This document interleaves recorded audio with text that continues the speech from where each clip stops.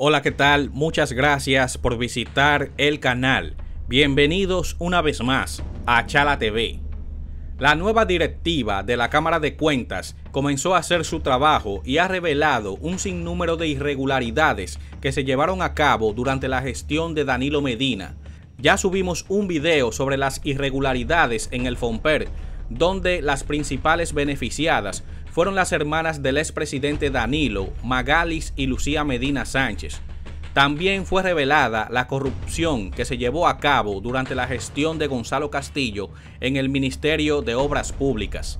Todo indica, señores, que el dueño de este país era el hermano de Danilo, Alexis Medina, quien tenía influencias en todas las instituciones del Estado por el simple hecho de ser el niño mimado de Danilo Medina si ustedes no lo saben, Alexis Medina, que es el hermano más chiquito del expresidente de la República, el más pequeño, ha sido la niña linda de él. La niña linda del presidente, y eso lo sabe su hermana, que el expresidente de la República ha sentido una debilidad extraordinaria por su hermano. Absolutamente todo está saliendo a la luz pública, pero estos verdugos siguen diciendo e insistiendo que volverán al poder en el 2024. No vamos a permitir que hagan un relato diferente al de la verdad.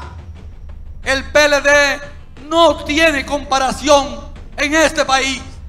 Nadie ha hecho tanto por la República Dominicana como lo ha hecho el Partido de la Liberación Dominicana.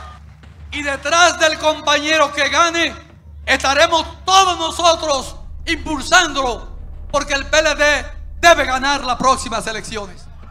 La Cámara de Cuentas divulgó este sábado un informe en el que se recogen supuestas irregularidades en contratos de la empresa distribuidora de energía del Este e de Este con varios suplidores, entre ellos una empresa vinculada a Alexis Medina, quien al parecer hacía lo que le daba la gana con el dinero del pueblo, del Estado, y supuestamente el señor Danilo no sabía nada. Eh. La investigación determina que hubo adjudicaciones con procedimientos incorrectos y compras de bienes y servicios sin contratos entre las partes, entre otros supuestos ilícitos.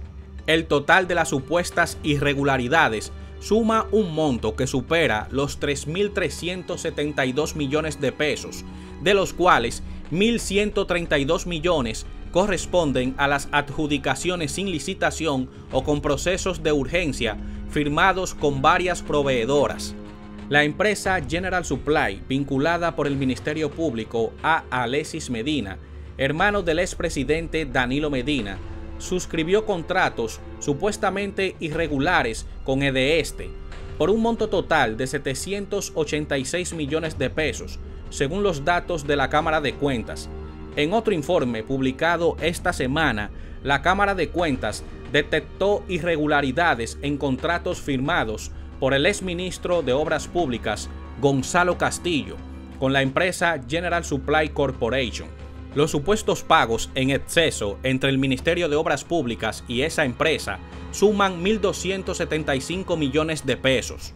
Este viernes, la Cámara de Cuentas publicó otro informe relativo a supuestas irregularidades en el extinto Fondo Patrimonial de las Empresas Reformadas, FOMPER, en el que Magalis Medina, también hermana del expresidente, era vicepresidenta.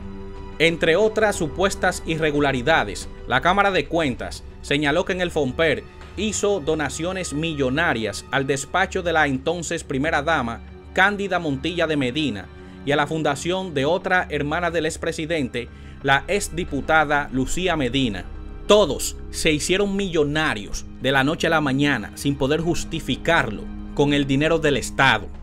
Alexis Medina y su hermana Magalis están siendo investigados por el Ministerio Público por su supuesta implicación en la trama de corrupción destapada en la operación Antipulpo, lanzada el año pasado por la Procuraduría. El primero es considerado por el Ministerio Público como el cabecilla de la red y guarda prisión preventiva, mientras que su hermana permanece en arresto domiciliario. Con lo que se relaciona a las personas que han sido detenidas, especialmente mis hermanos, yo tengo la convicción de que Si se sigue el debido proceso, el tiempo se encargará de decir que son inocentes.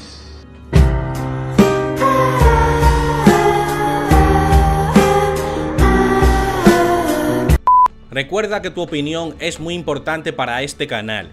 Como siempre, comenta, suscríbete si aún no lo has hecho y activa la campanita de las notificaciones para que te mantengas informado. Muchas gracias y hasta un próximo video.